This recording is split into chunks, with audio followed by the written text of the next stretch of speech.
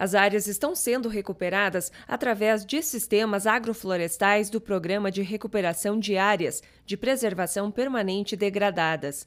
A intenção é recuperar 40 hectares de área de preservação permanente, seja na bacia de rios ou no entorno de nascentes.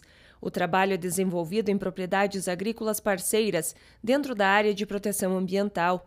A ação contribui para o aumento e atração da biodiversidade da fauna nativa para o local da intervenção.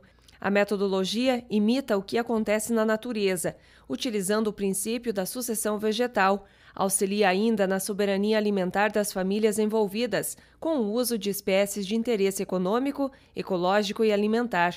Nessa fase, as equipes de campo estão plantando as mudas que foram produzidas nos viveiros implantados pelo projeto ou que foram adquiridas de viveiros de terceiros, nas propriedades dos produtores parceiros. Os sistemas agroflorestais são sistemas de produção que conciliam a recuperação da cobertura florestal com a produção de alimentos, podendo ser para o autoconsumo ou geração de renda da família.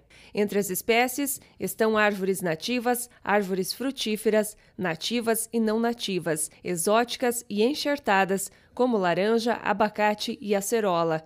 A ação começou na área de proteção ambiental de Guaraxaba, município de Antonina, nas bacias hidrográficas dos rios.